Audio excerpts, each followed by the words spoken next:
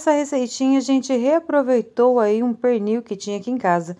Pode ser cozido, pode ser assado. Vou mostrar para vocês como fazer um recheio saboroso com pernil que sobrou. Sobrou aí na tua casa, pernil, vocês têm na tua casa aí o pernil do, sei lá, de algum evento, claro que passou o Natal, mas de repente você congelou um pedaço de pernil e tá assado lá na geladeira ou sobrou demais, não, não importa. O importante é que você tenha aí na tua casa o pernil.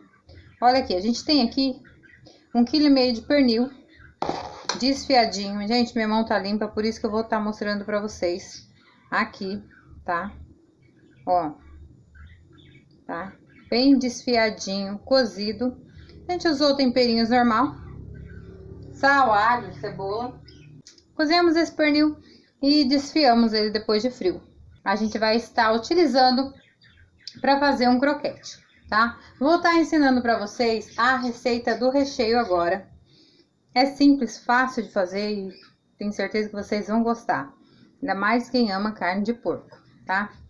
Como eu falei para vocês, aqui eu tenho um quilo e meio de pernil, tá? Vou reservar aqui do lado, já cozido, desfiado. Tem aqui os temperinhos, sal, chimichurri ou chimichurri, tem, cada um fala de um jeito, né? Orégano, pimenta do reino, azeitonas picada opcional, tá? E o que a gente vai estar utilizando aqui no comecinho é uma cebola picada, nosso temperinho de alho para feijão, tá? Sabor bacon, muito bom. Aqui eu tenho 3 colheres de é, pimentão picado, tem verde, amarelo e vermelho. 3 colheres de pimentão picado, é opcional também, mas faz toda a diferença. É, você pode colocar a gosto. Se quiser mais, pode pôr. Dois tomates picados, cheiro verde, salsinha e cebolinha. É somente isso que a gente vai, vai estar utilizando agora nessa receita. Tem aqui a nossa panelinha, famosa panelinha que eu amo demais para fazer receita nela. E temos aqui um azeite. Eu vou estar jogando um pouco de azeite nessa panela, tá? Aproximadamente umas duas colheres de azeite. Se você na tua casa tiver banha de porco, é, óleo, quiser fazer com manteiga, você que sabe, é opcional, tá? A gente vamos aquecer aqui bem pouquinho também, não vamos deixar queimar. E já começando, a gente vai acrescentar aqui a nossa cebola, tá? Vamos colocar a nossa cebola aqui nessa receita. E eu já coloquei assim, ó, dessa forma, que é o modo que já vai entrando as nossas, é, os nossos ingredientes na receita, tá? A gente vai dar uma mexidinha aqui.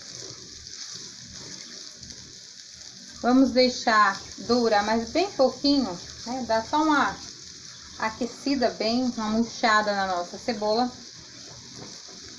E vou mostrar já o passo a passo para vocês. Aqui, ó.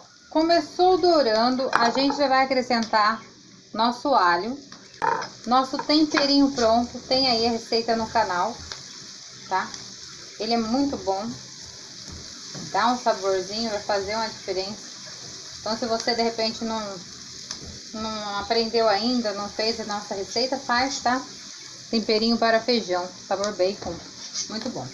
Vou acrescentar aqui, gente, ó, nosso pernil. A gente tirou toda a pele, toda a gordura do nosso pernil, tá?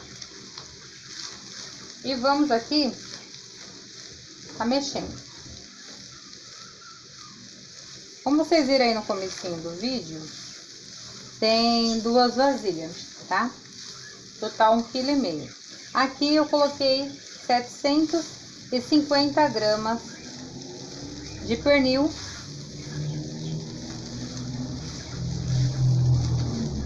Setecentos e cinquenta gramas de pernil. Vou estar tá mexendo e depois eu coloco outro restante. Porque a panela é pequena, então bastante pernil. E assim, a gente não vai estar fazendo só uma receita. A gente vai estar fazendo outras receitas com esse mesmo recheio. Igual a receitinha que a gente ensinou aí do broto de bambu. Broto de bambu a gente fez várias receitas, era grande quantidade. Então a gente fez bastante receita com broto de bambu. Eu vou estar acrescentando aqui agora o restante do ovo. Gente, a gente mexeu aqui agora. Vamos colocar os nossos temperinhos, tá? E vamos estar misturando, tá? Misturando todo o tempero. Os nossos temperinhos, vamos estar acrescentando agora o pimentão e o tomate, a nossa receita. Eles têm solta água, né? Então vai estar ajudando nossa receitinha a não ficar muito seca. Embora esse pernil aqui, ele não tá seco, gente. Ele foi bem cozido mesmo. E eu deixei ele esfriar na água do cozimento.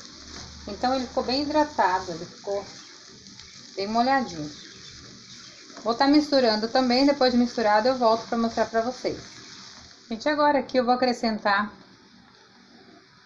Vou estar acrescentando as nossas azeitonas. E vou utilizar o mesmo potinho para acrescentar um pouquinho de água. Colocando aproximadamente 100 ml de água, tá? Para não tá queimando, não tá grudando no fundo, tá? Porque a gente quer que cozinhe um pouco esse recheio. Vamos deixar esse recheio cozinhando mexer um pouquinho. Vamos abafar ele, tampar e vamos deixar cozinhar por uns minutinhos. Bem, gente, já ficou dois minutinhos aqui refogando. É, se você quiser colocar um coloral, é outro tipo de tempero, você pode, tá bom? Pode ficar à vontade colocando. Gente, ele tá sequinho embaixo, assim, digo sequinho sem óleo. Não tá, ele não está oleoso, porém, ele tá bem úmido, tá? Uma carninha bem úmida. O que, que a gente vai fazer agora? Vamos colocar nosso cheiro verde e vamos misturar. Depois vou estar abafando ele com a tampa até a gente estar utilizando para nossa receita. Prontinho nosso recheio para ser utilizado em salgados, tortas, aonde você quiser.